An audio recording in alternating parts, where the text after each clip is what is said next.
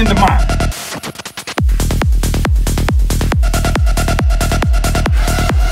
It's about heart. It's about who can go out there and play the hardest.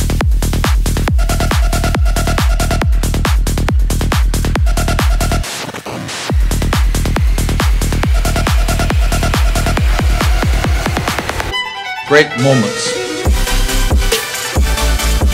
are born from great opportunity. We shut them down because we can.